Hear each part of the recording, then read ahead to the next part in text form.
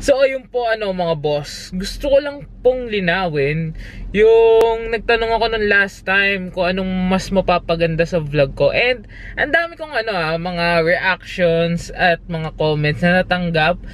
Both positive and negative.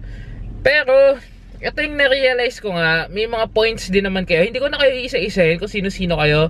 But yeah, alam ko yung mga past vlogs ko nga nawala yung parang connection ko nga sa inyo sa audience ko. Which is yun yung isa sa pinaka importante because it's a video diary kumbaga na sinishare ko nga sa inyo. So yung connection ko sa audience ko or sa inyo nga mga boss is nawala. Kumbaga pinapakita ko lang kung ano yung ginagawa ko. Parang I'm just showing yung alam mo parang nagyayabang lang or something. Parang ganun lang yung dating sa akin eh. Anyways although hindi naman talaga ako nagyayabang hindi ko naman pinagyayabang yung mga pinagagawa ko I'm happy kasi na na-share ko sa inyo yun na uh, nakakapag-interact kayo sa mga ginagawa ko. And yun nga sa mga travels na ginagawa namin nakakatulong sa iba sa inyo. Nagiging ano siya parang guide But, uh, pero yun nga, nawala yung connection and then medyo overrated daw yung or over-edited yung mga videos ko. So yung last vlog ko, medyo hindi ko na siya ginanon uh, inedit masyado. And then yun nga, nawala nga tong one-on-one talk natin sa isa't isa. Sa isa't isa talaga. One on all of you. and then, masyado daw ako naging preserved. And, al alam alam nyo kasi, as a vlogger, iniisip nyo din yung hindi maboboard yung manonood.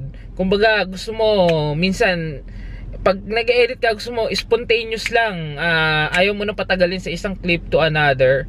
Minsan naman, feeling ko, uh, gusto ko lang pahabain or gusto ko lang wala lang. So, isama mo itong buong clip na to para ang ang feel niya is uh, parang live, live video, walang cut. Kaya yung mga ibang edit na travel ko, kumbaga mahaba yung mahaba yung length niya bago mag next scene or mag ikat ko yung video. Ganon, parang live ba? Kumbaga, ayan ito talaga yung ginagawa namin. Eh, ito talaga yung nangyayari. Ganyan.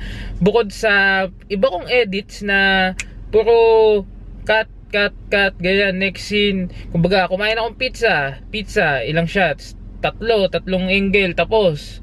Uh, pumunta kami sa ganito, yan, shot, shot, shot. Then putol, tapos uh, maraming variety akong iniisip, minimix and match ko. Depende yan sa feel ko kasi syempre uh, na-enjoy ko talaga yung pag-edit and yung process ng filming na ginagawa ko. It depends sa mood, it depends kung anong feel ko. Kaya yun, yung nagiging resulta, nagiging iba-iba siya, hindi siya consistent. Kumbaga, syempre nakakasawa din naman as uh, sa part ko siguro, kung paulit-ulit lang yung scenes or yung editing na ginagawa ko, syempre nakakasawa din. Kaya minsan mag-experiment ako, ganyan, ay, aartehan ko. Alam niyo yun? And yun nga, minsan nawawala ibang part like yung uh, connection natin, nawawala. Or minsan naman, umu-over daldal ko. Or minsan naman, umu-over edit. Minsan naman, tamad na tamad mag-edit. Puro, ano lang, cut lang So yun, uh, maganda yung mga negative comments na, na natanggap ko because that makes you realize na uh, alam mo yun, hindi rin lahat talaga ng tao is mapiplease mo which is, I understand. So yun. One thing more, um, Facebook versus YouTube sa Facebook, hindi ako masyado nagpo-post ng mga vlogs ko. Why? Because sa YouTube, uh, gaya nyo, mga nakasubscribe na kayo dito sa channel ko, kayo talaga yung uh, interesado, interesado manood ng mga buhay-buhay ko, update sa buhay ko, and yung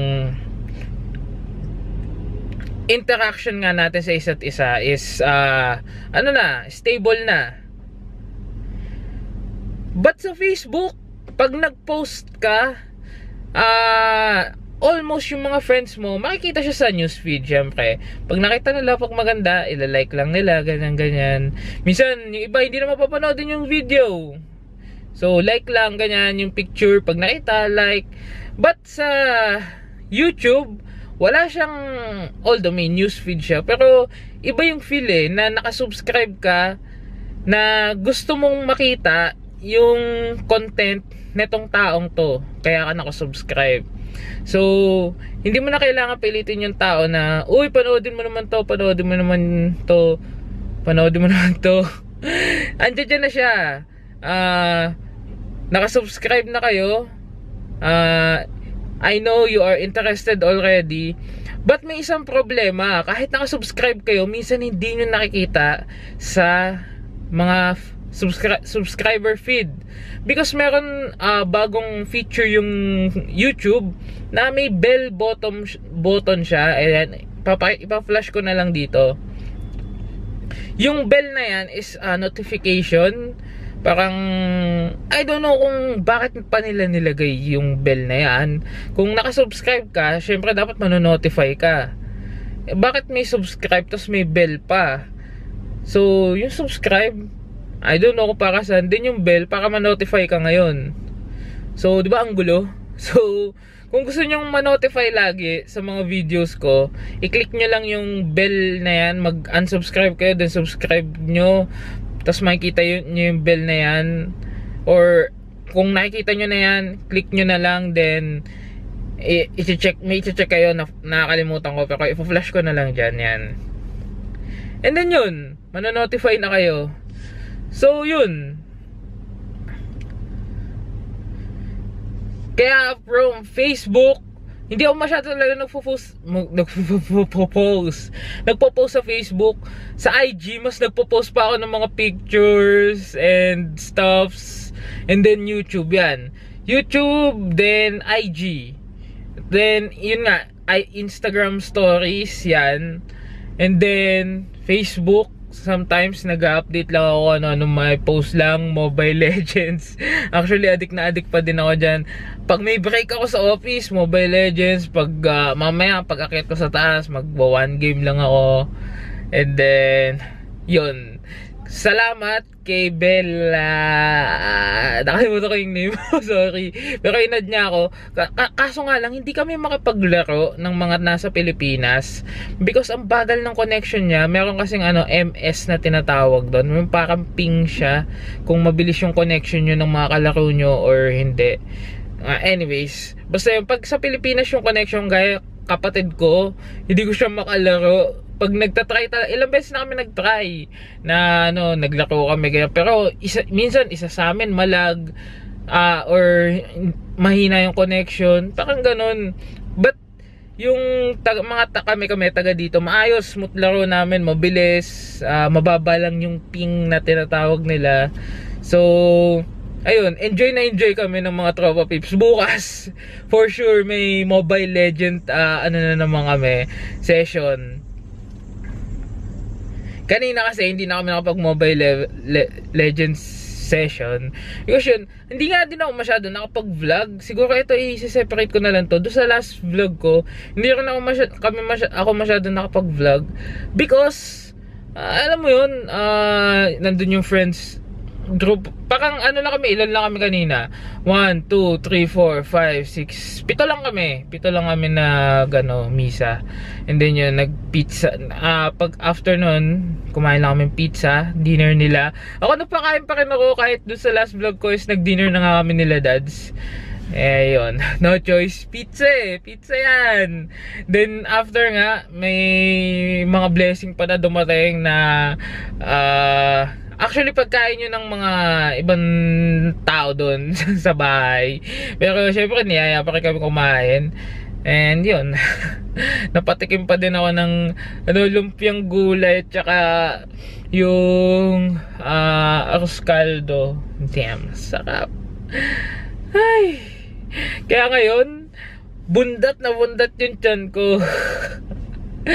Anyways, uh, napaka sobrang random topic na nito. Pero yun nga yung main point ko, yung paggagawa ko ng vlog, uh, editing, and then yung pag-share ko nga sa Facebook and YouTube. I hope na uh, maganda naman tong one-to-one talk natin. Uh, yun lang. Anong reaction nyo? Actually, di ba, ginagawa ko na naman to dati And yeah, namiss, namiss ko tong gawin ha, yung magsasalita lang ako sa harap ng camera. By the way, may mga iba pa akong announcement uh, sa mga susunod na kabanata dito sa buhay ko. Actually, itong bahay namin na to, uh, tingnan natin kung mga ilang buwan pa kami titira dito. Uh, hindi pa namin sure sa company namin baka ilipat kami eh, ng accommodation namin ng tirahan namin so wala pang uh, definite detail kung ano talaga mangyayari but may mga hearsay hearsay lang na gato nga ililipat na kami doon sa ganyan ganyan but yeah tingnan natin. Sa susunod na kabanata sa buhay ko. But first uh, first of all maraming maraming salamat first of all eh huli na no? Last but not the least maraming maraming salamat talaga sa inyong mga subscriber ko tsaka sa mga nanonood napakalaking tulong na nagla-like kayo nag nakasubscribe kayo at you interact sa mga vlog ko because it keeps me motivated every time talaga. Bukod sa gustong gusto ko talaga yung nag-edit ako, nagvo-vlog, nasa system ko na siya, namimiss ko siya pag hindi ko ginagawa, parang kulang yung araw ko. But yun nga, in addition to that, yung mga likes, comments, and views nyo, yun talaga yung nagpo-pursue sa akin na mag-schedule, mag-edit, and mag-film. So yun. Maraming maraming salamat. Alam ko para sa akin din tong mga vlog na ginagawa ko. Because, ah, uh, yun nga, I gain friends, ganyan, family, pag uwi ko sa Pilipinas, meetups ng mga vloggers, So, yun. Parang it added or it adds up a spice sa buhay ni Yims tong pagiging vlogger ko bukod sa mga ibang commitment ko sa pagiging OFW ko sa pagtatrabaho ko from 7 to 4 ganyan from being a kuya from being a servant uh, of the Lord syempre, uh, ibang side naman tong ginagawa kong vlogging, 'di ba? Parang it's a different side of me na I really enjoyed. So yun lang.